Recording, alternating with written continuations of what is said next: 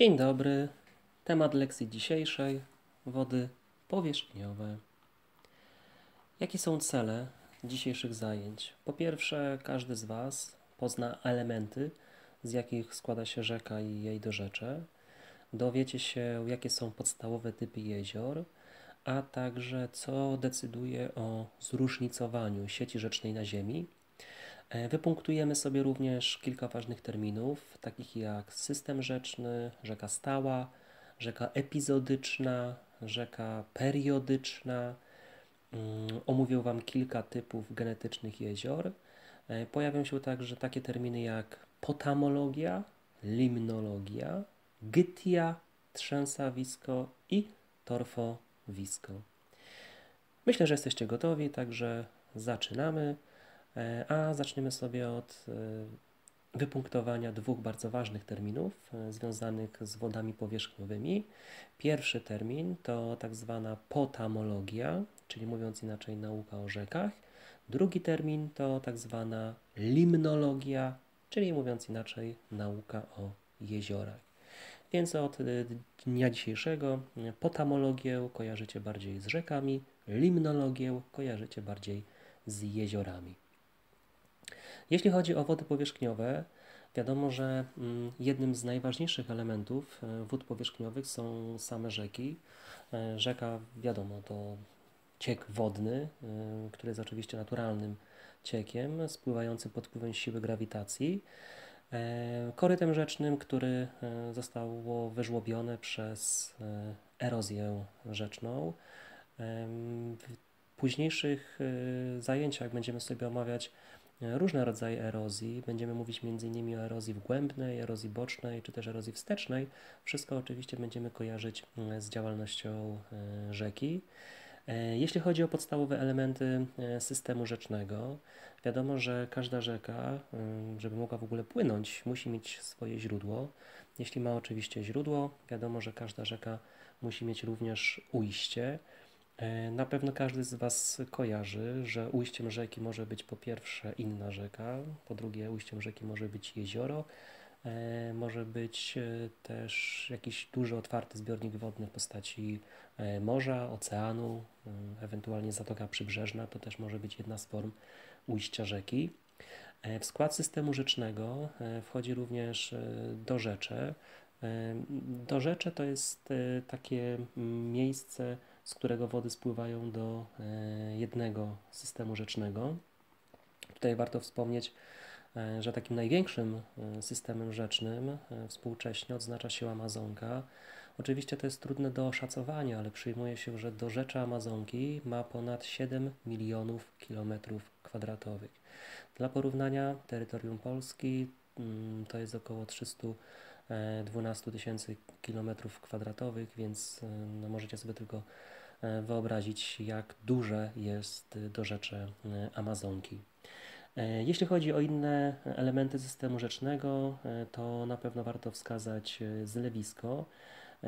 Zlewisko to jest miejsce, skąd wody spływają do jednego dużego właśnie zbiornika wodnego, czyli na przykład do oceanu, do zatoki czy też do zalewu. E, gdy mówimy o e, systemie rzecznym, e, musimy wspomnieć o bardzo ważnym jego elemencie, czyli tak zwanym dziale wodnym. Załóżmy, że mamy sytuację taką, która jest chociażby w Polsce, gdzie mamy dużą jedną rzekę, czyli Wisłę, i drugą dużą rzekę, czyli Odrę.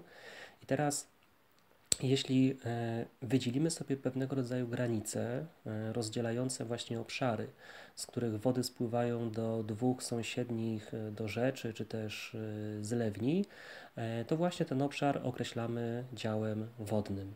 Czyli E, rzeka Wisła e, będzie miała na przykład swój dział wodny, rzeka Odra będzie miała swój dział wodny. Oczywiście e, tą linię możemy sobie później wydzielać jeszcze z perspektywy kolejnych rzek, czyli na przykład rzeka Pilica może mieć swój dział wód, rzeka San swój dział wód, a na przykład rzeka Nogat będzie posiadała oczywiście swój dział wodny. E, gdy mówimy o systemie e, rzecznym i jego elementach, e, musimy sobie mm, sprecyzować jeden bardzo ważny termin, a mianowicie cechą systemu rzecznego jest tak zwana asymetria do rzeczy. Asymetria do rzeczy polega na przykład na tym, że mm, w przypadku jakiejś rzeki wyraźna jest dominacja bądź lewego, bądź prawego dorzecza. E, taką sytuację możemy zaobserwować m.in. w Polsce, bo w Polsce sytuacja jest taka, że większość rzek, a już na pewno te dwie główne rzeki, czyli rzeka Wisła i rzeka Odra, mają zdecydowaną przewagę E, prawych dopływów. E, w związku z tym e, asymetria do rzeczy będzie jak najbardziej w przypadku Wisły i Odry występować. I kończąc wątek elementów systemu rzecznego, już tak tylko wstępem, ponieważ szerzej omówimy sobie to przy okazji charakteryzowania rzeźbotwórczej działalności rzeki w kolejnych działach. Każda rzeka posiada trzy tak zwane biegi rzeki. E, czyli posiada tak zwany odcinek dolny, odcinek środkowy i odcinek górny. No i warto zapamiętać, że w każdym z tych odcinków, czyli mówiąc inaczej biegów rzeki, po pierwsze zachodzą różnego rodzaju procesy. No, takim przykładem może być erozja, czyli inaczej mówiąc niszczenie. Takim e, procesem może być tak zwany transport, czyli na przykład przenoszenie przez rzekę materiału skalnego, albo e, takim procesem, który najintensywniej zachodzi na przykład e, w dolnym biegu rzeki, może być akumulacja, czyli wszystko to, co rzeka zebrała z biegu górnego, środkowego, jest osadzane w biegu dolnym. Ale my sobie te wszystkie procesy bardzo dokładnie omówimy na kolejnych zajęciach, podobnie jak wszystkie formy terenu, które w poszczególnych biegach rzeki powstają. Mamy omówione podstawowe elementy e, systemu rzecznego.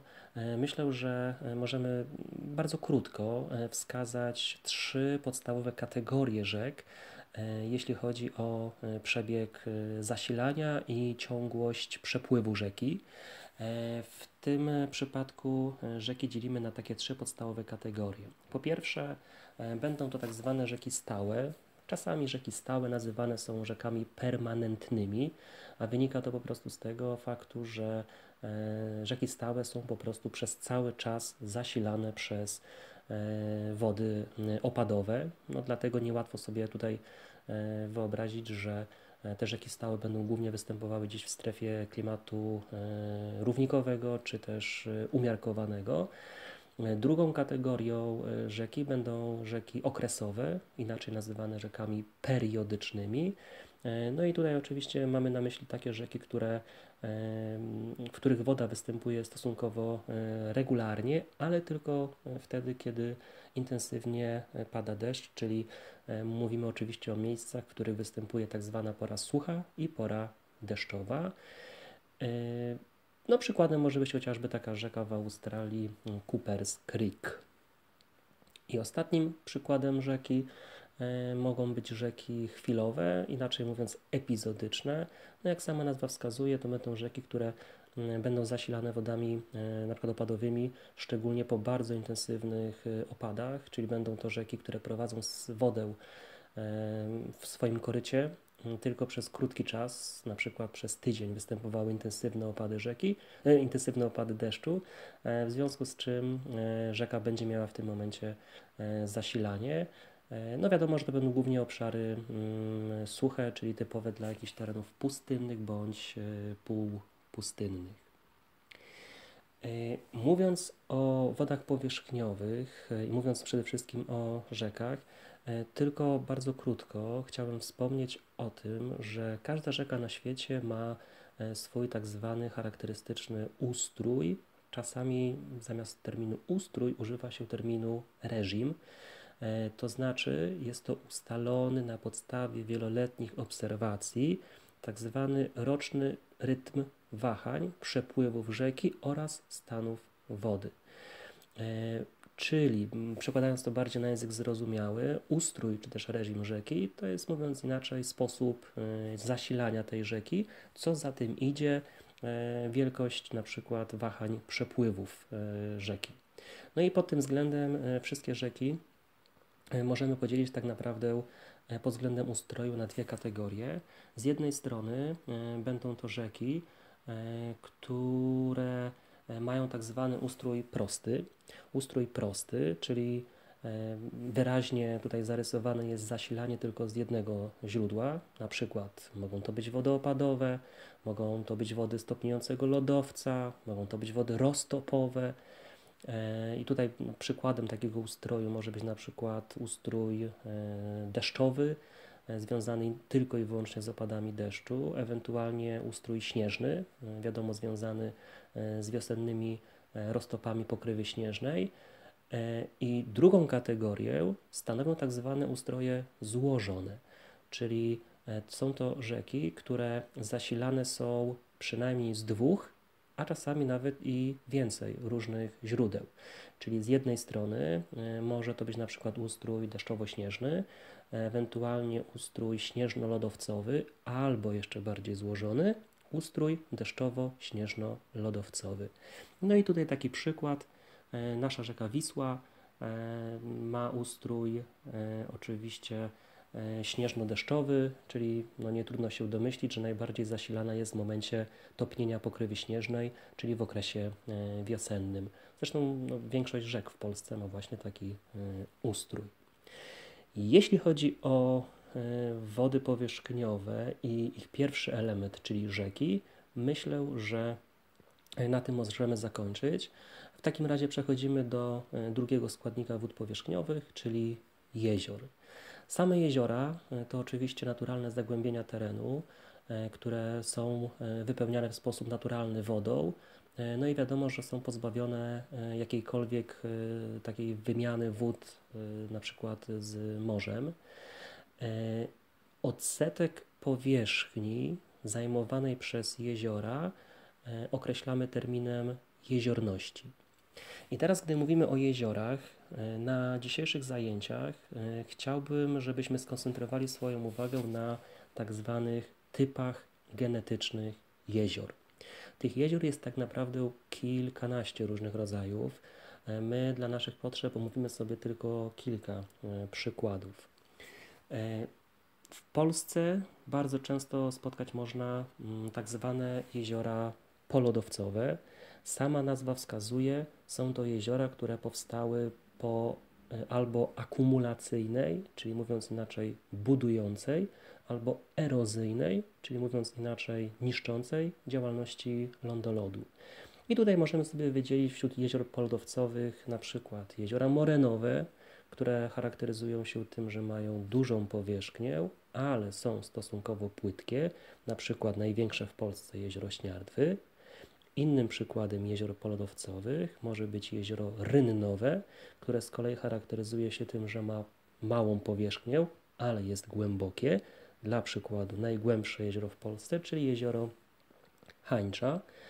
E, innym przykładem jezior polodowcowych, e, ale związanych bardziej z działalnością e, lodowca górskiego, a niekoniecznie lądolodu, są tak zwane jeziora cyrkowe, czyli inaczej mówiąc jeziora karowe, czyli jeziora górskie. No każdy z Was, wybierając się chociażby w Tatry, może mm, spotkać się z tymi jeziorami w Dolinie Pięciu Stawów. E, przykładem może być czarny staw, e, przedni staw, zadni staw. E, to przykłady jezior polodowcowych, ale po działalności lodowca górskiego. Czyli pierwszy typ jeziora polodowcowe mamy omówione.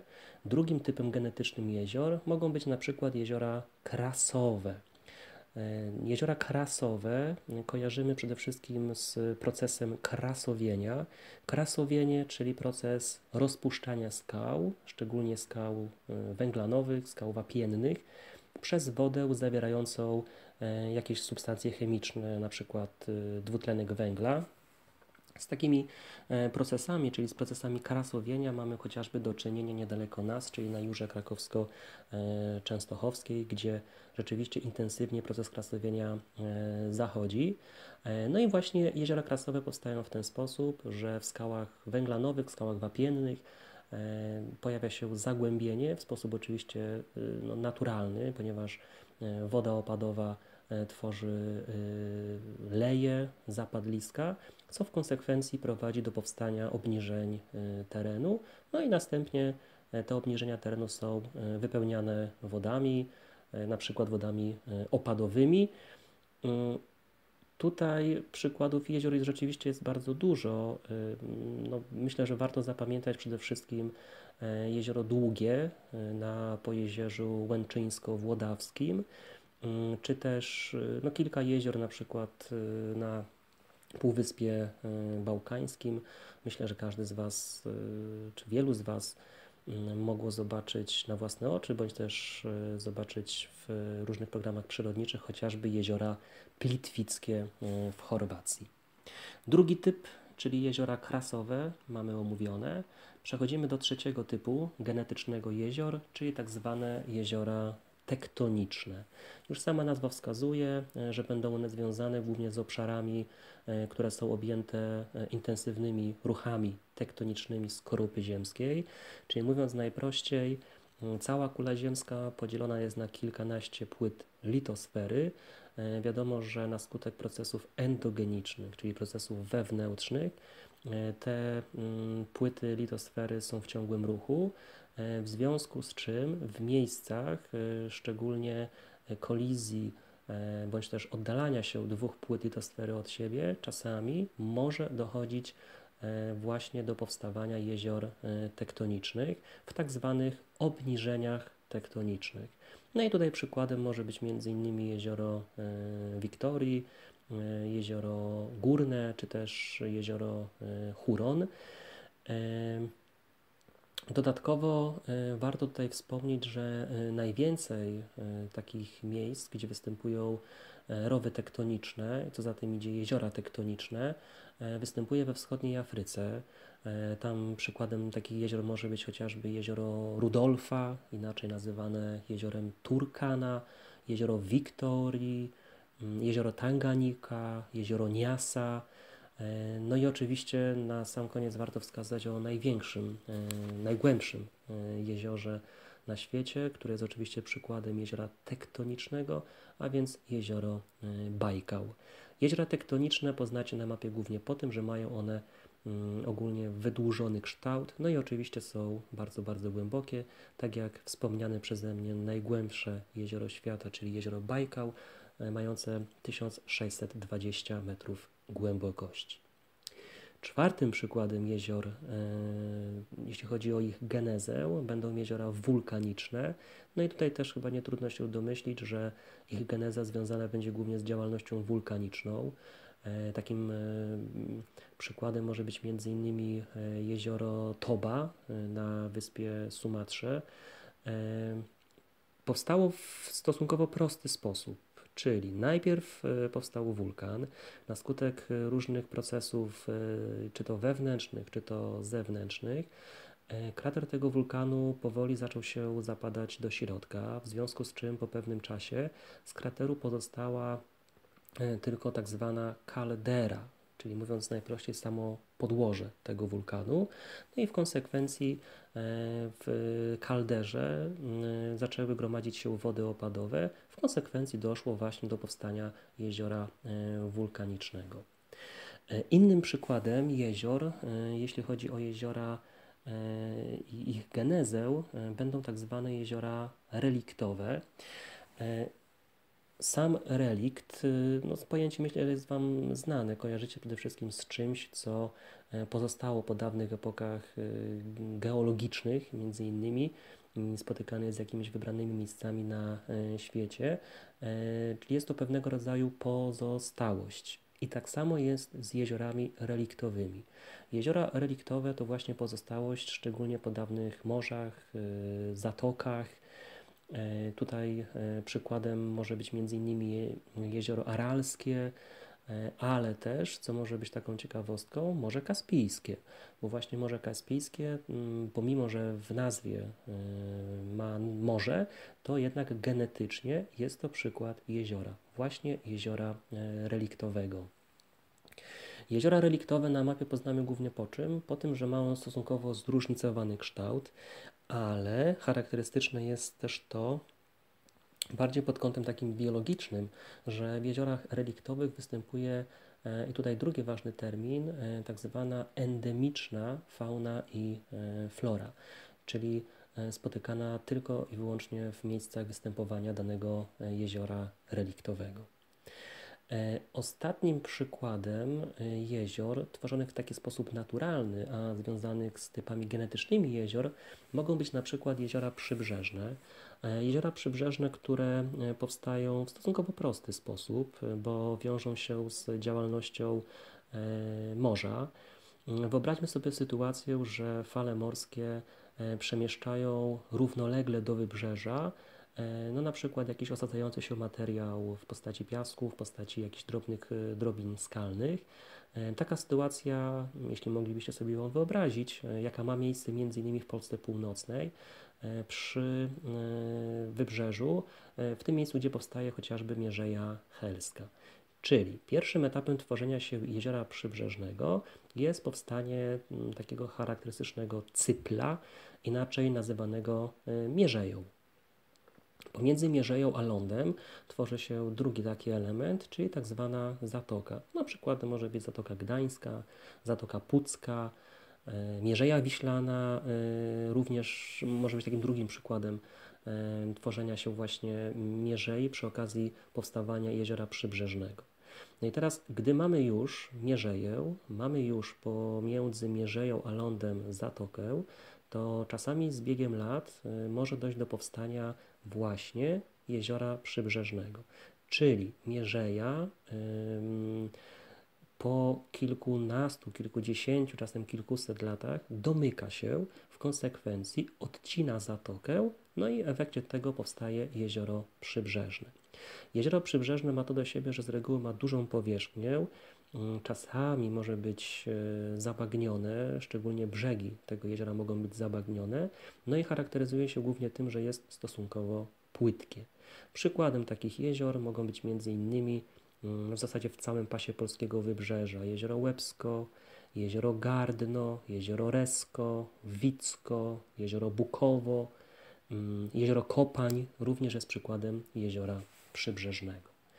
I domykając e, już całkowicie typy genetyczne jezior, no muszę tutaj e, powiedzieć jeszcze o jednym przykładzie, ponieważ e, bardzo często spotykamy się z nimi także w Polsce, czyli tak zwane jeziora antropogeniczne, czyli mówiąc inaczej sztuczne.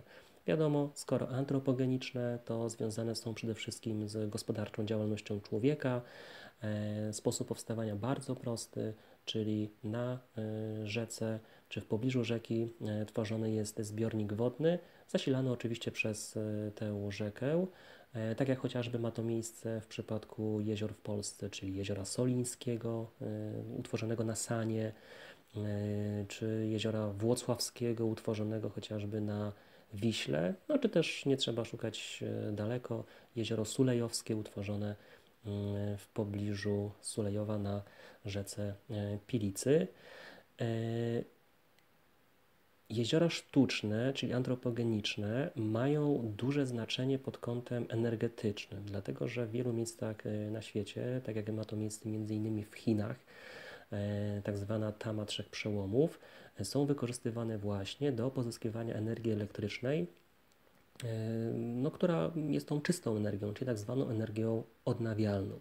Czyli z jednej strony możemy wykorzystywać wodę ze sztucznych jezior do celów energetycznych, no z drugiej strony oczywiście trzeba się zastanowić też pod kątem ingerencji w środowisko naturalne, bo wiadomo, że nie zawsze te jeziora, czyli jeziora antropogeniczne, mają w sobie tylko i wyłącznie same zalety.